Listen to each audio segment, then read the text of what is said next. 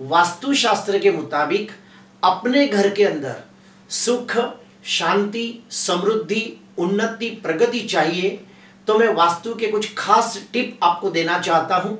उसमें से सबसे पहली टिप है, अपने घर के अंदर, ईशान्य कोण के अंदर एक मंदिर की स्थापना करें और नियमित भगवान की पूजा पाठ करें। दूसरा टिप, अपने घर के अंदर अग्नि कोण के अंदर रसोई घर को बनाना चाहिए और वह हमेशा साफ़ सुथरा रखना चाहिए।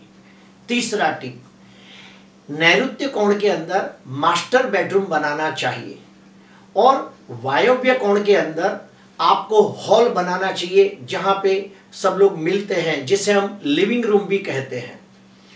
चौथा टिप, अपने घर का जो ब्रह्म स्थान होता है, जिसे हम वास्तु की नाभि भी कहते हैं वहाँ पे कोई भी प्रकार का वज़न नहीं होना चाहिए। चौथा टिप, अपने घर के अंदर पूर्व दिशा, ईशान्य दिशा और उत्तर दिशा हमेशा खुला रखना चाहिए। ठीक उसके अपोजिट पश्चिम दिशा, नैऋत्य दिशा और दक्षिण दिशा यह हमेशा बंद रखनी चाहिए। वैसे ही नियम है कि अपने घर का दरवाज़ा पूर्व ईशान्य और उत्तर का होना चाहिए। अपने घर का दरवाज़ा गलती से भी पश्चिम, नैऋत्य और दक्षिण का नहीं होना चाहिए। छठवा टिप, अपने घर के अंदर लाइट कलर का इस्तेमाल करें। जैसे कि लाइट पिंक, आइवरी, ऐसे सब कलर का इस्तेमाल करें। गलती से भी भड़कीले कलर, डार्क कलर का इस्तेमाल घर में न करें।